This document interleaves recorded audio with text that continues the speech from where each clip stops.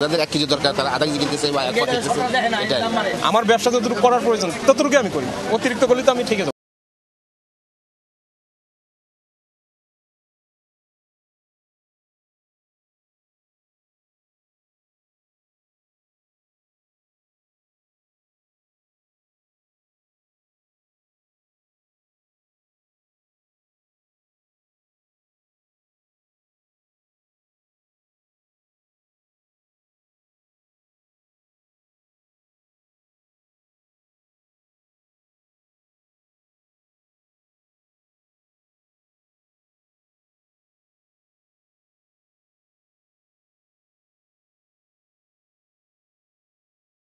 Bell তরমুজ। গত সপ্তাহে বেচছি তিরিশ টাকা পিস পঁচিশ টাকা পিস আর আজকাল চল্লিশ নিম্ন তো পঞ্চাশ। খেজুরের বাজারে এনে বাড়তি হইলেও কিছু করার নাই।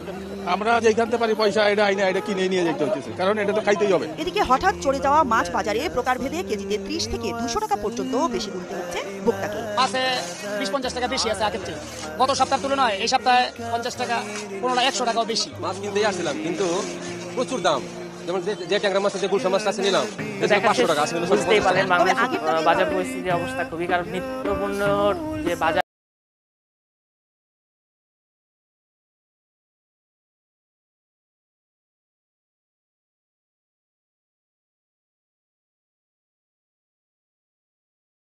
তারাও জানে যে ফিলিপাইনের বাজার পরিস্থিতি, আমার পার্শ্ববর্তী দেশ, পাকিস্তান, ভারত, সবাই এখন এই পরিস্থিতিতে চলছে। কারণ ইউক্রেন, রাশিয়ার যুদ্ধ একটা, তারপর কোভিড সিচুয়েশন মহামারী পার করার পর বিভিন্ন দেশ অর্থনীতি সংকটে আছে। তারপরও আমাদের দেশের ব্যবসায়িকরা কেমন জানি অন্য অন্য দেশে রমজান মাস আসলেই বাজারের দাম কমায় দিতে থাকে নিত্যপণ্যের দাম কমে যায়, আর বাংলাদেশে একটু বাড়ে। এটা একটু আফসোস। এটা তো আমাদের ফজিলতর মাস। ফজিলত আল্লাহ দেয়, রহমত দেয়, এই সময় এটা করা উচিত না। আর আমরা যারা মধ্যবিত্ত আছি, উচ্চবিত্ত আছি তারা উচিত এই সময় গরিব মানুষদেরও সাহায্য করা কারণ আপনিও একটা চিন্তা করেন।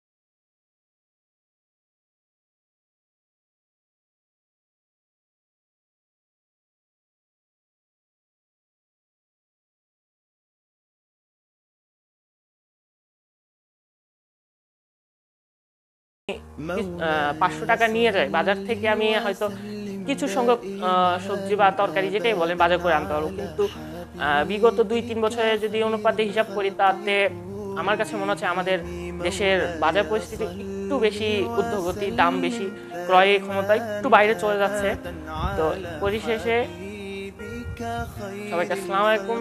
শেয়ার করবেন, সাবস্ক্রাইব করবেন, আর আমাকে মোটিভেট করবেন। কারণ আমি আপনাদের একটা কমেন্ট সাবস্ক্রাইবের কারণে আমি ভিডিও বানাতে উৎসাহিত হব। আসসালামু আলাইকুম